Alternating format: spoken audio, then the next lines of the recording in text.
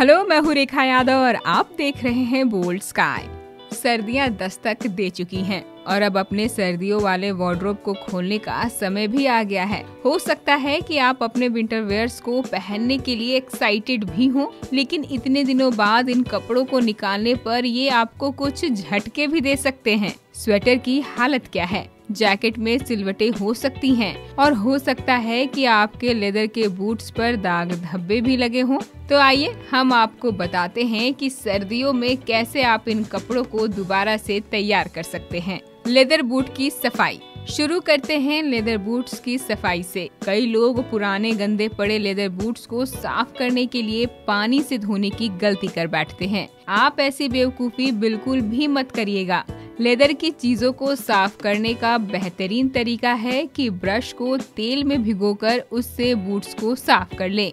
इस तरीके से आपके बूट्स दोबारा से चमकने लगेंगे विंटर फ़ैशन की बात करें तो डैनिम की जैकेट और शर्ट्स हमेशा फ़ैशन में रहते हैं, लेकिन इन्हें धोने से डैनिम का रंग चला जाता है इससे बचने के लिए आप इसे डिटर्जेंट से धोने से बचें। डैनिम को धोने के लिए ठंडे पानी में एक कप व्हाइट विनेगर मिला लें और उसमें डेनिम भिगो दें, इससे वो साफ़ हो जाएगा। अगर आपके लेदर के कपड़ों में सिलवटें पड़ गई हैं तो इससे बचने के लिए लेदर के कपड़ों को कभी भी फोल्ड ना करें। उन्हें हमेशा हैंगर में टांगे। फोल्ड करने से उनमें सिलवटें आ जाती हैं, जिससे बाद में उसमें क्रैक्स भी आ जाते हैं, जो आपके लेदर जैकेट को समय से पहले खराब कर देते हैं।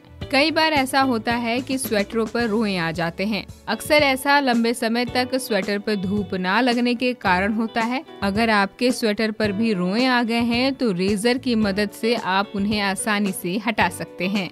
वहीं ठंड में सबसे मुश्किल और बुरा काम लगता है कपड़े बदलना।